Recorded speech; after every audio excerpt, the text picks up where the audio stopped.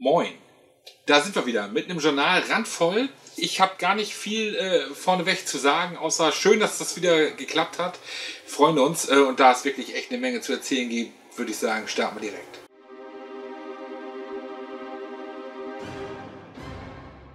Wir starten mit Holland-Spiele. More Dinosaurs, Please ist eine Erweiterung zu Emma Hollands Dinosaur Table Battles, eben aus dieser Table Battles Reihe. Äh, nicht historisch, ja doch, im Grunde natürlich auch historisch, prähistorisch. Äh, Dinosaurier treten hier im Kampf gegeneinander an. Sechs neue Arten wird diese Erweiterung bringen. 30 Karten, äh, habe ich gelesen, äh, sind drin in der Erweiterung. Ähm, Flugsaurier, Wassersaurier, aber auch neue Landsaurier mit natürlich dann eben dementsprechend auch neuen Fähigkeiten. Ja, wer da Interesse hatte, schon, schon das Grundspiel gut fand, der ist wahrscheinlich dann mit dabei. Wir bleiben bei Holland-Spiele, gehen auf der, auf der Seite äh, von der Neuheiten in deren Blog, äh, wo ja so ein bisschen diskutiert wird oder dargestellt wird, was so in nächster Zeit in der Pipeline ist oder auch rückblickend. In der Pipeline ist auf jeden Fall Incentives in Nicaea. Nicaea äh, ist die englische Bezeichnung von äh, Nikea, Nicea, wie man auch immer, es gibt da beide Möglichkeiten, das auszusprechen. Und da geht es natürlich um das erste Konzil. Konstantin der Große hat das 325 ausgerufen und es ging äh, darum festzulegen, das Wesen von Jesu, Verhältnis zu, zu Gott. Na, das waren wichtige Glaubensfragen und wichtige kirchenpolitische Fragen, die da geklärt wurden. Und dieses Konzil ist Thema dieses Spiels. Ähm, um da jetzt ganz im Detail drauf einzugehen, äh, was da jetzt äh, äh der Autorin Errol Holland wichtig war an diesem Spiel, empfehle ich auf jeden Fall auf den Link zu klicken. Es geht halt grob darum, das Ganze in Verbindung zu setzen mit so einem Stockholding-Aktienmarktspiel. Äh, es geht um äh, verschiedene Glaubensfragen, die diskutiert werden im Spiel. Äh, man erwirbt Karten und ähm, diese, diese, äh, diese, diese, diese Fragen manifestieren sich im Laufe des Spiels als ja, diskutabel oder eben orthodox, also festgelegt. Ne? Und das liegt daran, wie viele Anteile von so einer Frage äh, praktisch erworben werden von den umgeben. Also es ist eine sehr, sehr abgefahrene Herangehensweise, muss ich sagen. Ich bin total gespannt auf dieses Spiel, freue mich darauf und äh, wenn es euch da auch so geht, allein schon das Thema ist schon irgendwie total interessant. Ja, guckt es euch an. Dann gehen wir einmal fast um die Welt und zwar nach Taiwan. Und dort More Ideas Games, äh, die ja im letzten Jahr mit Mini Express gekommen sind, die davor Spiele hatten wie Nine Symphony, wie Mini Rails und äh, einige andere echt interessante Sachen dabei haben einen Kickstarter in Planung, soll im Oktober starten, Jiangnan Life of Gentry. Und es geht eben um die Stadt Jiangnan ähm, im Zeitalter der Mai-Dynastie und ähm, wir spielen ja Adlige, Schriftsteller, Künstler, die so ein bisschen noch nicht genau wissen, in welche Richtung ihr Leben gehen soll. So habe ich das, das Ganze verstanden. Ähm, möchte man denn doch eher, äh, sag ich mal so, der schreibenden Zunft angehören oder möchte man eher so, so das Leben der Adligen genießen? Ganz viel ist noch nicht bekannt. Es gibt noch keine Fotos, außer jetzt ähm, das, was wir hier haben. Hier habe ich nicht gefunden, auch nicht bekommen vom Verlag. Aber ich bin sehr gespannt. Ebenso gespannt und ebenso wenig Fotos und Infos gibt es zu Oranienburger Kanal. Ich kann nur so viel sagen, Uli Blendemann hat es angekündigt auf Twitter. Das heißt, Uli Blendemann Spielworks, also Spielworks Neuheit, Autor Uwe Rosenberg. Schauen wir, was da rauskommt. Ich bin echt gespannt drauf. Raúl Fernandez Aparicio oder Aparicio bringt ein Spiel raus zusammen mit Wladimir Suchi oder Suchi, Wladimir Suchi in seinem Verlag Delicious Games. Und nach Praga und davor Underwater Cities ist das auf jeden Fall eine Sache, die einen hellhörig machen sollte, wenn man so im Euro-Bereich unterwegs ist. Messina 1347 oder 1347 oder 1347, wie auch immer man das Ganze denn jetzt dann für sich nennen möchte. Es geht um die Pest. Der Ausbruch der Pest, beziehungsweise ja, so das Introduction-Schreibwort im Wiegen. Ja, also es geht langsam los mit der Pest und wir sind reiche oder überhaupt einflussreiche Familien äh, der Stadt Messina und äh, verlassen die Stadt. Ja, weil wir haben die Hosen voll, möchten uns nicht anstecken, was ja verständlich ist, fliehen aufs Land, müssen auf dem Land klarkommen. Das heißt, unser Besitz da muss gefestigt werden. Wir müssen aber auch irgendwie für unser Überleben sorgen. Gleichzeitig aber auch ähm, den, den zurückgebliebenen Stadtbewohnern helfen und ähm, einfach gucken, dass die Pest eingedämmt wird. Klingt interessant, schauen wir mal. Ähm, ich bin auf jeden Fall dabei. Bonfire. Letztes Jahr große Neuheit äh, bei Hall Games, Stefan Feld. Für mich ganz weit oben auf dem Stefan Feld Treppchen äh, meiner Stefan Feld Spiele. Äh, ich habe ja mal gesagt, Aquasphere ist mein liebstes Feld. Schauen wir mal, ich weiß gar nicht, ob mir das vielleicht sogar noch ein bisschen besser gefällt hier, das Aquasphere. Äh, das Bonfire. Trees and Creatures, es kommt eine Erweiterung raus. Wer hätte das gedacht? Eine Erweiterung und ähm, drei Module soll die im, Ganze, im Ganzen enthalten. Ähm, fünfte Spieler wird eingeführt. Variable Player Powers in Form von Creatures, die man zieht. Und man kann diesen Pfad, den die Hüterinnen entlanglaufen, wo jetzt mit Bäumen bepflanzen, äh, die man im Spiel besorgen kann. Und diese Bäume bringen einem dann natürlich in verschiedensten Wechselwirkungen dann wieder Boni. Ich bin jetzt niemand, der sofort aus dem Häuschen hören ist, wenn er hört, oh, es kommt eine Erweiterung. Und lass das erstmal ganz langsam an mich rankommen. Und noch eine Erweiterung. Dune Rise of X. Dune, beziehungsweise, Entschuldigung, Dune, äh, Dune Imperium. Rise of X. Es geht nicht um das äh, alte klassische Dune, das es ja auch gibt in der Neuauflage, auch mit einer Erweiterung. Hier geht es um das Dune Imperium, um Deckbilder mit Worker Placement, Elementen, der in Deutsch bei Asmodee gekommen ist. Bisher angekündigt auf Englisch, es wird aber ganz sicher, denke ich, eine deutsche Erweiterung geben.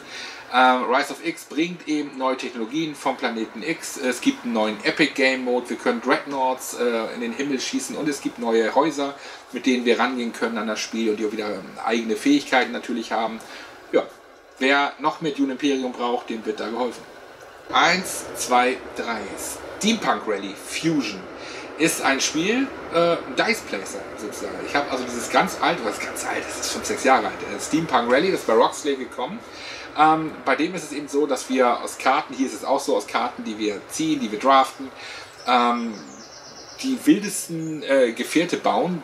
Ne? Man kann das so anlegen und diese äh, unterschiedlichen Gefühle. Man muss sich das vielleicht ein bisschen vorstellen wie äh, so, so, ein zusammengezimmertes Raumschiff äh, bei Galaxy Trucker, ohne die Hektik. So, und äh, diese Gefährte, äh, die befeuere ich mit Würfeln, die ich drafte und die ich in verschiedene auf, die, auf die Karten platziere. Es wird mir also gesagt, was ich da äh, platzieren muss. Dann erreiche ich natürlich über diese Werte einen bestimmten Wert, über diese Würfel einen bestimmten Wert und dann ähm, nach diesen ganzen Drafting-Runden wird dann jeweils auf einem Rennkurs abgetragen, wie weit wir denn fahren. Da kann man Fähigkeiten einsetzen, indem man sich auf dem Rennkurs gegenseitig behaken kann. Ich habe es äh, damals gespielt, eigentlich lange her, eine Partie. Ich hätte mal wieder Lust drauf, denn mir hat es echt Spaß gemacht damals, muss ich sagen. Auf jeden Fall kommt eine deutsche Version. Äh, ich kann gar nicht ganz genau sagen, wie weit dieses alte Steampunk Rally mit dem Steampunk Rally Fusion jetzt so ähm, kompatibel ist oder, oder eben nicht. Ich weiß halt nur, dass es nicht komplett äh, sprachunabhängig war und daher im Grunde eine deutsche Regel oder deutsche Karten schon Sinn machen, definitiv. Triumvir, Triumvir, Triumvirat geht natürlich zurück auf die Zeit eben des Triumvirats oder des großen Triumvirats. Caesar, Pompei, Crassus, altes Rom, GMT, verwurstet, Cut. Cut. Eins, zwei, drei. Wir gehen zu GMT. Und dort äh, wurde bekannt gegeben, dass Triumvir seine 500 äh, geknackt hat. Also die P500 ist durch, das Spiel wird erscheinen. Wann ist dann immer die Frage. Ähm, klar, es war eigentlich äh, im Grunde was eine sichere Sache, dass es kommt. Äh, Triumvir oder Triumvir, Triumvirat geht eben zurück auf die Zeit des Triumvirats im alten Rom. Caesar, Pompeius, Crassus und ähm, deren Politik. Das Ganze basiert natürlich dann wiederum auf, das ist die Great Statesman Series, aber es basiert äh, mechanisch dann eher, was ich so gelesen habe, eben auf äh, Versailles. Allerdings an, also Versailles 1919, das ja letztes Jahr erschienen ist und äh, bei dem ich eben verschiedene Issues habe, über die diskutiert werde und dann mit Einfluss auf diesen Karten sozusagen diese Issues für mich settle, also mir für mich äh, äh, praktisch äh, entscheide. Und daraus ergibt sich dann für mich und für viele andere Sachen äh, dann eben so dieses Weiterbestehen Roms. Und das Ganze ist eben nicht ganz sklavisch an dieses Versailles gehalten von 1919, also Versailles 1919, sondern natürlich schon historisch und auch game-mechanisch äh, angepasst, eben so an die, an die Gegebenheiten im alten Rom ich bin auf jeden Fall sehr gespannt. Dreier-Spiel natürlich, ähm, ja, sollte ich spielen wollen, will ich auch spielen. Wir gehen zu Capstone, die ein Spiel angekündigt haben von einem deutschen Autor, diesmal Alexander Hümer. Alexander Hümer kennt man von Lignum.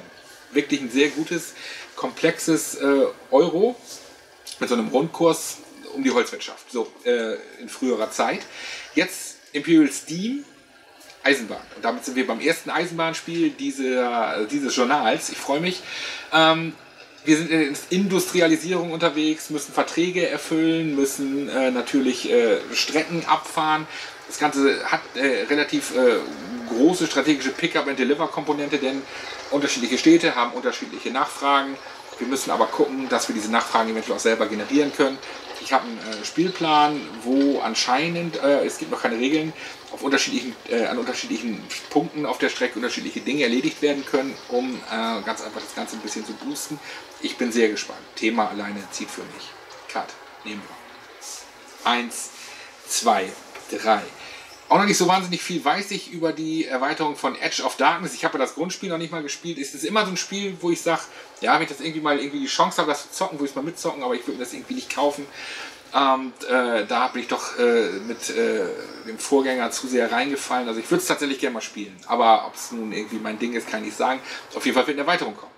Und die wird auch irgendwann dann demnächst bei Kickstarter starten. Schon gestartet auf Kickstarter, auch schon gebackt und äh, im Grunde auch schon durch die Decke gegangen und heiß erwartet von wahrscheinlich ganz vielen Leuten, ist die Erweiterung Alien Invasion für On Mars. So, und diese Erweiterung für Vitalas Herdas On Mars macht eben äh, was, was ähm, eigentlich selten ist bei Vitalas Herdas Spielen, außer vielleicht eben bei CO2, denn es ähm, addiert zu dem Spiel Spielmodi, äh, um das Spiel einfach kooperativ zu spielen. Kooperativ Solo geht natürlich auch wieder und es geht auch ähm, einer gegen alle. Das ist auch möglich. Und ähm, Alien Invasion dürfte eigentlich alles sagen, was auf dem Master passiert. Äh, dazu gibt es eben äh, neues Holz, neue Marker, neue Karten. Das Ganze äh, natürlich wieder in einer Top Deluxe Ausstattung. Und wer da Interesse hat, der guckt sich das an. Im letzten Journal haben wir angekündigt, dass Frosted Games Drunagor macht. Drunagor, Dungeon Crawler, wirklich Dungeon Crawler, wo ich also eine Tür aufmache und dann erst erfahre, was hinter dieser Tür los ist. Das ist so das, was für mich ein Crawler ausmacht, was mir auch wichtig ist, diese ganzen Skirmisher-Sachen. Ich, also wenn ich dann mal sowas spiele, äh, dann muss es auch sowas sein. Und ähm, ja, es ist live. Auf GameFound, es ist auch schon gefundet, äh, begeistert erwartet und äh, das ist, sag ich mal, ein Crawler, wo ich tatsächlich selber kann überlegen. Ich bin noch nicht drin, aber ich überlege. Dann haben wir mal was so in eigener Sache jetzt mitten reingemogelt. Man will ja nicht immer so irgendwie tata und jetzt wir. Ähm, da sind wir ja irgendwie doch ein bisschen anders. Auf jeden Fall äh, Boardgame Engine, ein Kanal, wirklich äh, sehr sympathische Leute. An dieser Stelle an Michael, mit dem ich ganz viel Kontakt hatte, äh, ganz liebe Grüße. Die haben eine Serie, die sich generell lohnt, äh, finde ich. Ich habe da auch öfter früher mal reingeguckt, äh, bei denen irgendwie Leute so aus dem Brettspielbereich äh, eingeladen werden und zu zwei Genres, jeweils ihr liebstes oder ihr aktuell liebstes Spiel, ähm, ja, vorstellen. Ne? Und dann macht das jeder, der dabei ist und äh, man unterhält sich einfach über diese vorgestellten Spiele. Finde eine sehr schöne Idee. Auf jeden Fall, nun war ich da auch nach langer, langer Terminfindung und Absagen hier und äh, äh durch Impfung flachgelegen da und äh, auf jeden Fall hat es geklappt. Das Ding ist auch schon online. Könnt ihr euch angucken. Wir haben es verlinkt. Es geht natürlich um Eisenbahnspiele und es geht ums Mittelalter. Eisenbahn und Geschichte Wer Lust hat, äh, guckt sich das Ganze an. Und lässt sowieso mal vielleicht auch ein Abo da bei der Boardgame Engine. Mammutprojekt, äh, The War, Compass Games. The War, da gab es schon mal die erste Box, die so eher so dieses, äh, was heißt eher dieses Western Theater, Theater ähm, abgefrühstückt hat. Und jetzt ist da The Pacific noch dabei. Und im Zuge von The Pacific erscheint eben auch der, das Western Theater nochmal neu. Man kann das Ganze auch verbinden zu einem riesigen Zweite Weltkriegsspiel, das alle Ebenen abfrühstückt. Also eben nicht nur äh, die Frontlinien, nicht nur äh, die strategische, taktische Ebene, sondern eben auch die wirtschaftlichen Aspekte, äh, um das Ganze am Laufen zu halten, um seine Nation äh, dastehen zu lassen, äh, um, um, um, bestimmte Sachen zu planen, um zu produzieren. Also all das ist drin in diesem Spiel. Ähm, es gibt viele Spiele in dieser Art, sage ich mal, die das tun. Ne? Wenn ich also an, an Blitz denke und ähm, World in Flames hat da ja auch äh, sehr viele Elemente in dieser Richtung. Oder War Room meinetwegen auch. Äh, auf jeden Fall, äh, wer da Interesse hat, guckt sich das Ganze an. Es ist halt immer die Frage, auf welchem Level möchte man das spielen, wie viel Zeit möchte man haben, wie viele Tapeziertische möchte man aufbauen müssen für so ein Spiel, wie viele Freunde hat man, die bereit sind, sich da so lange reinzuknien. Auf jeden Fall, wenn man überall da, äh, sag mal so, glaube ich, im oberen Bereich den Haken machen kann, dann ist vielleicht The War das Richtige. Wir gehen über den amerikanischen Verlagsumweg nach England, nämlich White Dog Games, bringt ein Spiel raus, im englischen Mittelalter angesiedelt. White Dog Games, wer den Verlag kennt, weiß, wir sind jetzt hier so im History Wargame Bereich unterwegs. In the Name of Justice, der im Grunde Auftakt, die Auftaktschlacht äh, des äh, zweiten äh, Barons War. Und ähm, das Ganze spielt in East Sussex, kleines Dorf Lewes, Lewes, äh, Lewes geschrieben. Und das ist ja nicht immer ganz so einfach herauszufinden in England, wie diese Orte dann ausgesprochen werden. Auf jeden Fall, äh, wenn es jemand weiß, äh, bitte in Lautsprache unten in die Kommentare. Das würde mich echt äh, enorm freuen. Ja, äh, ein Zweierspiel, man kann es wohl auch solo spielen, ähm, im, im, im, mittleren Bereich, sage ich mal. Ne? So in zwei, zweieinhalb Stunden spielbar das Ganze. Nicht übermäßig komplex, aber ich denke, äh, es kann durchaus, äh, heißt Scully, für Unterhaltung so. Und manchmal hat man dann den Eindruck, es vergehen dann doch keine 14 Tage ohne irgendwie neue Ankündigungen von Frosted Games. Dieses Mal ist es Earthborn Rangers, das auf Deutsch kommt. Ein Spiel, das es auch noch gar nicht auf Englisch gibt. Ähm, es kommt im Verlag von dem Herrn Settler oder von den beiden Settlers, die auch ähm, bei Fantasy Flight waren. Ja, das ist keine Fantasy Flight Neuheit, sondern die haben einen neuen eigenen Verlag gegründet, waren aber bei Fantasy Flight, sind da zuständig gewesen für so große Namen wie Descent. Ja, also die verstehen ihr Handwerk. Hier allerdings kein Crawler oder Skirmisher, was auch immer, sondern ein LCG mit Namen eben Earthborn Rangers. Ich kann zu LCGs einfach ganz wenig sagen. Äh, ich bin da nicht firm drin, das ist jetzt nicht unbedingt mein Genre. Ich kann mir gut vorstellen, dass man da eine Menge, mega viel Spaß mit haben kann. Und, äh, aber dieses Deckbauen ist einfach nicht so meins. Deswegen sage ich an dieser Stelle einfach mal so gar nichts, bevor ich was Falsches sage zu dem Spiel. Wie gesagt, das ist keine Wertung, aber ich habe einfach keine Ahnung davon. Ich habe vorhin gesagt, Imperial Steam ist das erste Eisenbahnspiel. Jetzt kommt das zweite dieser Sendung und zwar Friedemann Frieses Freie Fahrt. FFFF. So, Friedemann Frieses Freie Fahrt. Eisenbahnspiel. Wir sind unterwegs in Europa und ähm, es ist durch eben den Siegeszug der Eisenbahn ein breites Netz äh, quer durch Europa entstanden, von Stadt zu Stadt. Und wir haben nun die Aufgabe geschickt äh, über dieses Netz, das auch natürlich weiter ausgebaut wird, ähm, Passagiere zu transportieren. Die wollen in Urlaub, die wollen Routen abfahren. Es gibt Reiserouten, die wir wählen können.